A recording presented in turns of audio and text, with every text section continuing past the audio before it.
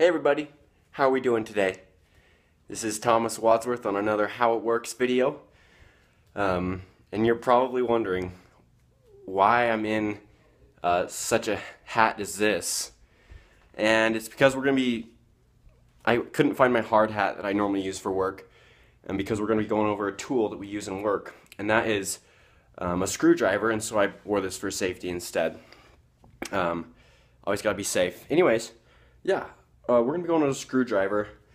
And the main purpose of a screwdriver, I got one right here, is to help us um, tighten things that we would not normally be able to do if left to our own means. Um, and that's what this screwdriver is going to help us with. Um, and let's just examine it before I put it to use real quick.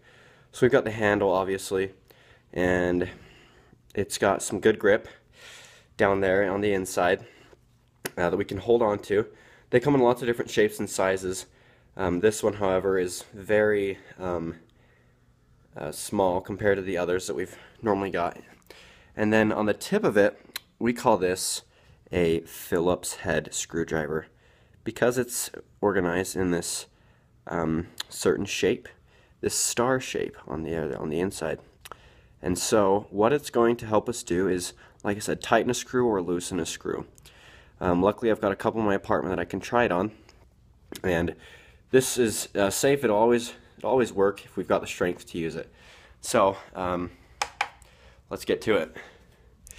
All right. So with a regular cabinet like this, um, sometimes they they attach right here in these spots down here and down here, and so the screwdriver allows us to loosen it. So you push it in like so let me make sure you can see it.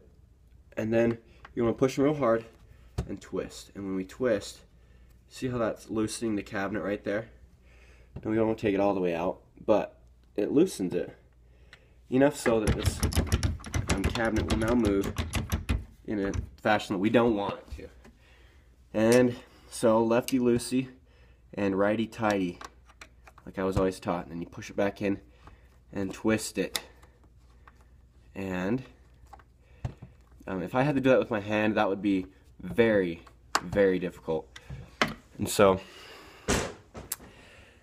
like we have here, our screwdriver, that's going to help us with our problems on the day-to-day -day work life on the job site.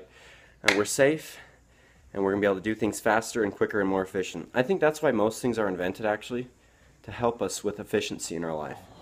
And so I'm glad that I was able to show you how this screwdriver works. Have a great day.